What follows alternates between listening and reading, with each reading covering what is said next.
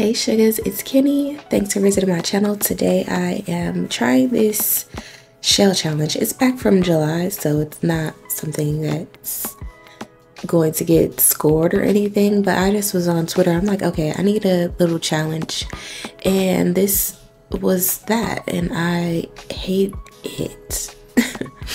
I tried to figure out what to do with the round wall, but it's not completely round. It has like a little one one tile. I don't know. Yeah, one side is not completely round, so that was stressing me out. And then they have two of these little one square rooms, and I was I didn't know what to do with that. I didn't know what to do with the exterior really at all. I did figure out something for the interior that made it look a little okay, but this, just look at it. Look, I'm struggling. I kind of felt like maybe I should have switched which direction the front of the house was because I decided that this was the front. And so many things were stressing me out. I think I end up removing that uh, what is that? A chimney. I removed the chimney. I changed so many things from what you see right now. But this challenge was definitely that. And it's a challenge that made me realize I will never do a challenge with a round room probably ever again okay? Because i hate how the exterior comes out and you'll see it eventually. It's not terrible. I made it look a little bit like old grandma's house kind of feel i guess.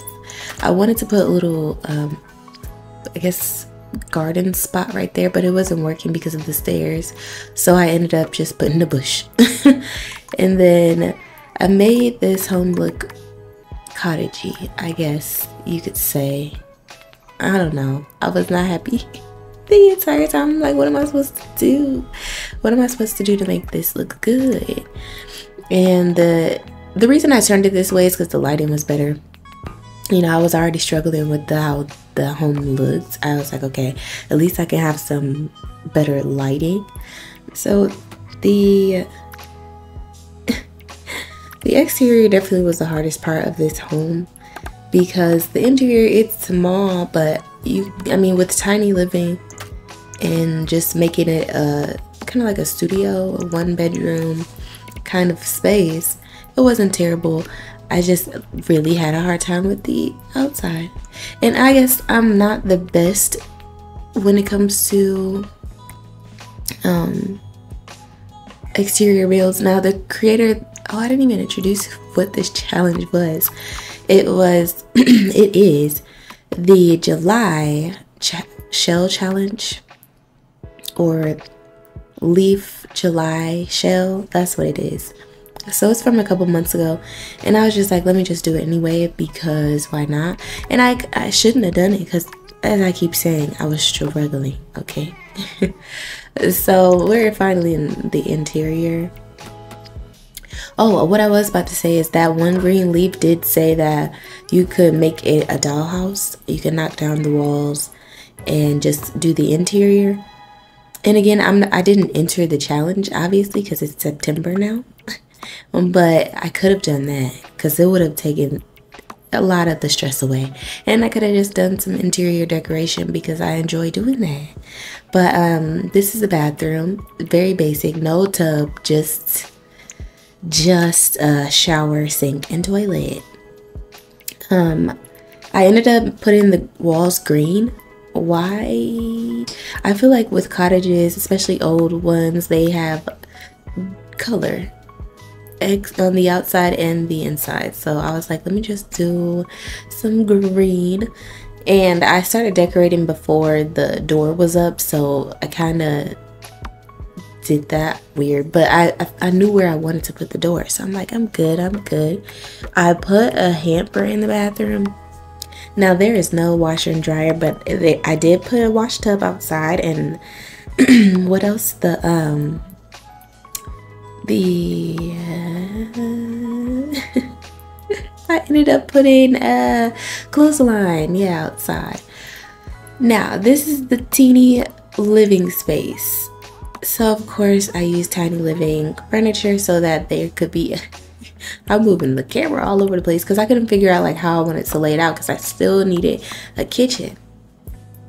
But um, I ended up putting a very tiny kitchen. They have the bed, the couch with that little uh, Murphy bed. And then I put a wall TV, a mounted TV up. So they're gonna have some entertainment. I did decorate a bit. I put more windows, don't worry. it's not prison. But I just couldn't figure out what kind of color scheme I wanted to go with. I eventually stick with this like orangey wood and then threw in green as many places that as, as I, girl get it out as many places as I could because I, I just wanted to keep that color scheme going I guess but oh my gosh this build was not fun for me I was thinking okay it's a challenge it'll be fun I like the outcome I like the interior. Let's just let's just be real with that. And that's probably what you'll end up liking too. So with the kitchen, the refrigerator is right outside, right inside the door. I hate that. But I decided this person has a tiny home, but they can have a tiny dog as well. Okay? I didn't think cat because then you'll have to figure out where to put the litter box and scratch posts if you want one of those. And I'm like, nah, that's not gonna work in this house. It's too small. And I didn't need to add any more stress to myself. Okay. I did change the lighting because I hate that yellow lighting. Okay. That's that's only I only use that if I'm building an old house that wasn't updated. I feel like this is an old house, but they kind of updated the interior that's what I was going for. Um, there are some like antique aspects, like this table and chairs. They don't technically go together, but it was giving like older from like the 60s, maybe. I don't know. But I wanted this home to have some clutter, I guess. I wanted to make it seem like somebody actually lives here. So I did go down and put little things like the salt salt pepper shakers in the kitchen. I put some different decor eventually. I don't think i did i do it yet? I don't think so because i kind of was struggling with that. Having to move the counters and place things down. And then i have Better BuildBuy in my game but this is like a second save so oh the there's an airplane outside and I know it kind of messes up my audio, but this isn't my save that I play my LPs in. So this is a basically a new game, if it makes sense. So I needed to leave the game and come back for the Better BuildBuy to be organized properly. And I just didn't want to do that. So it was kind of, oh my gosh, y'all. I won't even tell you why my voice is sounding like this.